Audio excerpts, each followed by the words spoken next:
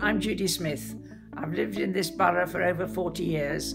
I'm in my 80s. I know what this nasty pandemic has meant to older people, and it's older people who we particularly have to look after. There are lots of us in my age range who, because we're old, are no, long, no longer have anybody living with them.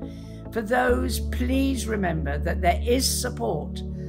The borough has a, a, an amazing community hub, and if you need help in any way, whether it's because you need shopping or you are lonely, do get in touch. And don't forget masks. Masks are important. You don't have to buy them, you can make one of your own. There are lots of ways. Washing your hands, really important. And finally, space. Remember that we must try to keep the two metre distance space.